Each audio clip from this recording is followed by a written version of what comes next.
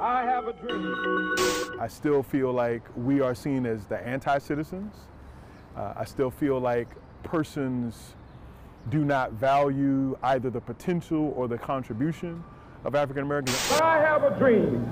My four little children will one day live in a nation where they will not be judged by the color of their skin, but by the content of their character. What we're experiencing, I think, 50 years after, after Martin Luther King is actually quite similar to what Martin Luther King was seeing during the last few years of his life. When King was living, uh, black people were twice as likely to be unemployed uh, as white Americans. They're still black, twice as likely to be unemployed, and so that racial disparity has persisted over time.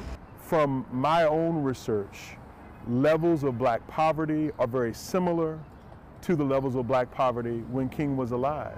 You would tell white boys, for example, that um, if you're ever in trouble, go to the police and they will protect you, they'll make things right.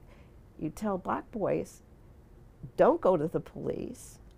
Be careful when they come to talk to you because you might get locked up. I have a dream. Well, ultimately, we'll reach a point where the, the dream that Dr. King spoke of can be realized. But we have to be realistic. It won't be overnight, and it won't be conclusive at any point.